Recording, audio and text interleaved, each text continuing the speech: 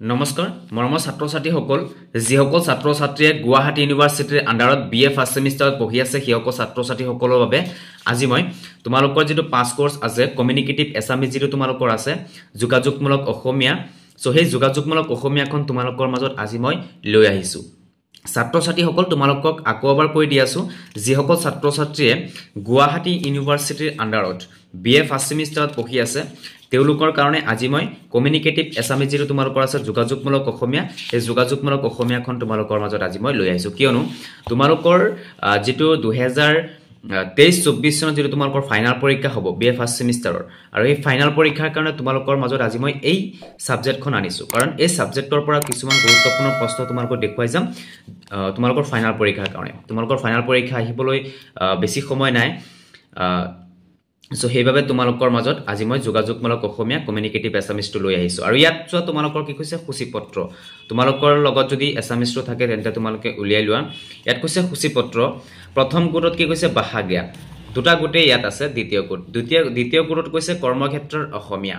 ছাত্ৰ ছাত্ৰীসকল তোমালোকে হয়তো নিশ্চয় চিন্তিত হৈ আছে যে দুটা এই কমিউনিকেটিভ এছামিজ যিটো আছে সেই কমিউনিকেটিভ এছামিজত দুটা চেপ্টাৰেই দিছে। গতিকে দুটা চেপ্টাৰ দিছে থাকিলেও বহুত প্ৰশ্ন ইয়াৰ পৰা তোমালোকৰ কাটিব। চ' তোমালোকৰ যিটো ফাইনেল পৰীক্ষা হ'ব আৰু সেই ফাইনেল পৰীক্ষাত ইয়াৰ পৰা কেনেধৰণৰ প্ৰশ্ন কাটিব আৰু কোনটো কোনটো মানে কি হ'ব কোনটো চেপ্টাৰৰ পৰা কিমান নম্বৰ মাৰ্ক কাটিব তোমালোকক সুন্দৰকৈ বুজাই দিম। ছাত্ৰ ছাত্ৰীসকল তোমালোকৰ প্ৰথম গোট যিটো দেখিছা আৰু দ্বিতীয় গোট যিটো দেখিছা দুয়োটা গোটৰ পৰা মিলাই তোমালোকৰ যিটো ফাইনেল পৰীক্ষাত ছেভেণ্টি মাৰ্ক অথবা ছিক্সটি মাৰ্ক অথবা এইট্টি মাৰ্কৰ যিটো প্ৰশ্ন কাটে এই এই দুয়োটা কি কৰিব? দুয়োটা চেপ্টাৰৰ পৰা মিলাই তোমালোকৰ মাৰ্কটো কাটিব। গতিকে ছাত্ৰ ছাত্ৰীসকল দুটা চেপ্টাৰ দিছে গতিকে দুটা চেপ্টাৰৰ পৰা তোমালোকৰ ফাইনেল পৰীক্ষাত প্ৰশ্ন কাটিব আৰু ইয়াত চোৱা। প্ৰথম গোটত কি কৈছে? ভাষা জ্ঞান। পিছত আছে ভাষা জ্ঞান উচ্চাৰণ আখৰ জোটনি জ্যোতিষিংহৰ জ্ঞান প্ৰত্যয় বিভক্তিৰ ব্যৱহাৰ কথন আৰু কৌশল। পিছত দ্বিতীয় গোটত কি কৈছে? চোৱা। আবেদন কৈছে বিজ্ঞাপন কৈছে প্ৰতিবেদন লিখন কৈছে বাতৰি লেখন কৈছে নিবিদা লেখন দক্ষতা কৈছে। গতিকে ছাত্ৰ ছাত্ৰীসকল ইয়াত যিকেইটা মই তোমালোকক কৈ দিছোঁ গোটেইকেইটাৰ পৰা তোমালোকৰ কিন্তু প্ৰশ্ন পৰীক্ষাত কাটিব গোটেইকেইটাৰ পৰা কাটিব প্ৰশ্ন। এক মাৰ্কৰেই হওক দুই মাৰ্কৰেই হওক চাৰি মাৰ্কৰেই হওক পাঁচ মাৰ্কৰেই হওক দহ মাৰ্কৰেই হওক প্ৰশ্ন কিন্তু গোটেইকেইটাৰ পৰা কাটিব। যিকেইটা ইয়াত দেখিছা গোটেইকেইটাৰ পৰা তোমালোকৰ প্ৰশ্ন পৰীক্ষাত কাটিব। গতিকে তোমালোকৰ গোটেইকেইটা চোৱাটো বেছি দৰকাৰ। গোটেইকেইটাৰ পৰা তোমালোকে টাচ কৰিবা। এয়া চোৱা। প্ৰথম গোটত কৈছে ভাষা জ্ঞান। ভাষা জ্ঞানৰ পৰা কাটিব প্ৰশ্ন উচ্চাৰণৰ পৰা কাটিব আখৰ জোটনিৰ পৰা কাটিব জ্যোতিষিংহ জ্ঞানৰ পৰা কাটিব প্ৰত্য বিভক্তিৰ পৰা কাটিব কথন কৌশলৰ পৰা কাটিব। আৰু দ্বিতীয় গোটত কৈছে কৰ্মক্ষেত্ৰত অসমীয়া। আবেদনৰ পৰা কাটিব প্ৰশ্ন বিজ্ঞাপনৰ পৰা প্ৰশ্ন কাটিব প্ৰতিবেদন লেখনৰ পৰা প্ৰশ্ন কাটিব বাতৰি লেখনৰ পৰা প্ৰশ্ন কাটিব নিবিদা লেখন দক্ষতাৰ পৰা প্ৰশ্ন কাটিব। গতিকে গোটেইকেইটা তোমালোকৰ চাব লাগিব। এতিয়া তোমালোকৰ কমন কি কি আছে মই সেইটো তোমালোকক সুন্দৰকৈ দেখুৱাই যাবলৈ চেষ্টা কৰিম। প্ৰথমতে কি কৈছে ভাষা কথা। এই ভাষা কথাটো তোমালোকৰ লাগিব এইটো ইম্পৰ্টেণ্ট মষ্ট ইম্পৰ্টেণ্ট আৰু ভাষা কাক কয় ইয়াৰ চোৱা প্ৰথম। ভাষা কাক কয় সেই সম্পৰ্কে এটা নিৰ্দিষ্ট সূত্ৰ আগবঢ়োৱাৰ টান। ভাষা শব্দটো সংস্কৃত। ভাষা ভাষা ধাতুৰ পৰা নিষ্পন্ন যাৰ অৰ্থ হ'ল ব্যক্ত বাণী। এই ভাষা কাক বোলে এইখিনি তোমালোকৰ চাব লাগিব। ভাষা কথাটো তোমালোকৰ বেছি ইম্পৰ্টেণ্ট ভাষাৰ পৰা কিন্তু প্ৰশ্ন পৰীক্ষাত কাটিব চিয়ৰ আছে। তোমালোকে চাবা। আৰু যোৱা ভাষাৰ সম্পৰ্কে কেইবাটাও সূত্ৰ আছে। আমি মাত্ৰ তাত দুটা উল্লেখ কৰিলোঁ। ইয়াত সূত্ৰকেইটা তোমালোকৰ চাব লাগিব কিন্তু। বহুত গুৰুত্বপূৰ্ণ আছে ইয়াত। তোমালোকৰ সূত্ৰকেইটা কিন্তু ইম্পৰ্টেণ্ট ভাষা বিষয়ত যদি আহে তেন্তে সূত্ৰটো তোমালোকৰ লিখিব লাগিব। পিছত তোমালোকৰ আৰু এটা আছে তোমালোকৰ চোৱা মাতৃভাষা। পেজ নাম্বাৰ হ'ল থাৰ্টি ছিক্স মাতৃভাষাটো তোমালোকৰ লাগিব বহুত গুৰুত্বপূৰ্ণ। মাতৃভাষাটো বহুত ইম্পৰ্টেণ্ট মাতৃভাষাৰ আহৰণৰ প্ৰক্ৰিয়াটো চাবা মাতৃভাষাৰ বিষয়ত আহিব কিন্তু তোমালোকে মাতৃভাষাৰ পৰা শিকিবা। মাতৃভাষাটো বহুত গুৰুত্বপূৰ্ণ কিন্তু। পিছত তোমালোকে চোৱা মাতৃভাষাৰ আহৰণৰ ভাষা কৌশল। মাতৃভাষাৰ আহৰণৰ ভাষা কৌশল। এইটো আহিবই একদম মানে চিয়'ৰ আছে তোমালোকৰ পৰীক্ষাত। মাতৃভাষাৰ পৰা কিন্তু আহিব। আৰু মাতৃশিক্ষা চাৰিটা কৌশল তোমালোকৰ আছে চোৱা। মাতৃশিক্ষা ভাষাৰ চাৰিটা কৌশল শেষৰ ফালে চোৱা। পেজ নম্বৰ হ'ল ফৰ্টি মাতৃ ভাষা শিক্ষাৰ চাৰিটা কৌশল চাবা। ভ্ৰমণ আছে কথন আছে পঠন আছে আৰু লিখন আছে। আৰু ওপৰত যিটো আছে মাতৃভাষাৰ আহৰণৰ ভাষা কৌশল। এইকেইটা তোমালোকৰ লাগিব। বহুত ইম্পৰ্টেণ্ট কিন্তু। ইয়াছ এতিয়া আহিছে উচ্চাৰণ। উচ্চাৰণটোতো তোমালোকৰ লাগিবই।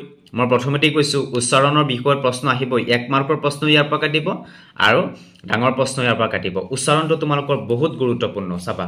উচ্চাৰণটো তোমালোকে শিকি ল'বা। উচ্চাৰণৰ বিষয়টো প্ৰশ্ন আহিব। তাৰপিছত ভুল উচ্চাৰণ চোৱা। ভুল উচ্চাৰণো আছে। মানে গোটেইকেইটা মিলাই অলপ অলপ চাবা তোমালোকে। উচ্চাৰণৰ উচ্চাৰণৰ বিষয়ে প্ৰশ্ন আহিলেই ভুল উচ্চাৰণ শুদ্ধ উচ্চাৰণৰ বিষয়ে তোমালোকে অলপ অলপ চাব লাগিব। আৰু এইকেইটাৰ পৰা মিলাইহে তোমালোকে লিখিব লাগিব। তোমালোকে কিতাপৰ পৰা লিখিলে হ'ল বেলেগ নোটছ নিকিনিলেও হ'ব কিতাপৰ পৰা শিকিলেও হ'ব। কিতাপৰ পৰা শিকিলেও তোমালোকৰ বেছি ভাল হ'ব। বিশেষ বাবে সক্ষম লোৱাৰ লোকৰ ভাষা শিক্ষা এইটো বেছি ইম্পৰ্টেণ্ট হয় এইটো তোমালোকৰ নালাগে। এয়া চোৱা আখৰ জোটনি আখৰ জোটনি হ'ল আখৰ জোটাই বা লগ লগাই শব্দ লিখা কাৰ্য। এইটো এটা ইম্পৰ্টেণ্ট আখৰ জোটনিটো তোমালোকে চাব লাগিব। আৰু এইফালে দিছে এইফালে দিছে তোমালোকে চোৱা ফিফটি ওৱান পেজত আছে শেষৰ ফালে চাবা অসমীয়া ভাষাত আখৰ জোটনি বা বৰ্ণবিন্যাস তিনি প্ৰকাৰে কৰা হয়। যথা মানে তিন তিনিটাও লিখিব লাগিব। আখৰ জোটনিৰ যিকেইটা আছে গোটেইকেইটা তোমালোকৰ চাব লাগিব। শেষৰ পিনে চোৱা। ইয়াত দি দিছে। এয়া চোৱা। আখৰ জোটনিৰ পৰা গোটেইকেইটা তোমালোকৰ অলপ অলপ চাব লাগিব। যদি ডাঙৰ প্ৰশ্ন হয় তেতিয়াহ'লে গোটেইকেইটাৰ পৰা অলপ অলপ চাব লাগিব। আজি শ্বৰ্ট প্ৰশ্ন হয় তেতিয়াহ'লে আখৰ জোটনিৰ পৰা অলপ লিখি দিলেই হৈ যাব তোমালোকৰ। ইয়াত চোৱা এটা আহিছে ফ'ৰ ছিক্সটি ওৱান পেজত শেষৰ পিনে আছে চন্দ্ৰবিন্দুৰ ব্যৱহাৰ। চন্দ্ৰবিন্দুৰ ব্যৱহাৰটো তোমালোকে অলপ চাবা শ্বৰ্ট শ্বৰ্ট কুৱেশ্যনৰ কাৰণে। পিছত তোমালোকৰ আহিছে জ্যোতিষিংহৰ জ্ঞান। মই প্ৰথমতে কৈ দিছোঁ জ্যোতিষিংহৰ জ্ঞানটো তোমালোকে চাবা। শ্বৰ্ট কুৱেশ্যনো ইয়াৰ পৰা কাটিব। শ্বৰ্ট কুৱেশ্যনো ইয়াৰ পৰা কাটিব।